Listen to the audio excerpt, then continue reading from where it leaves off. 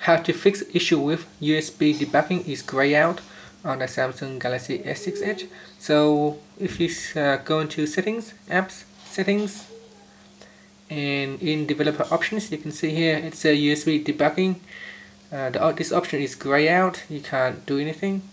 One of the reasons why this is happening is because uh, you have installed an app called My Knox. It's a security software that allows you to have your own private personal workspace.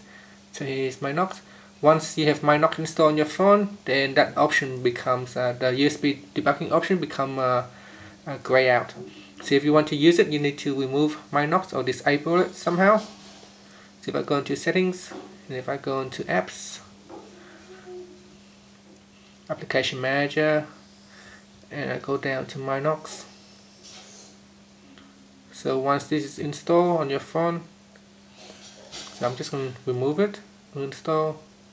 You can always un uh, install it again from uh, Google Play Store.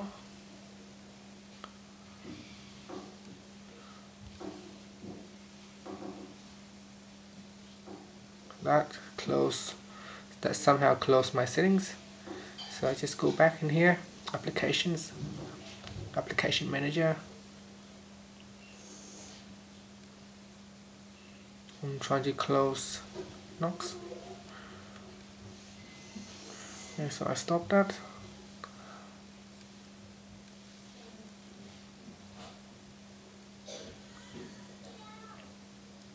So I go back in again and try to stop it again.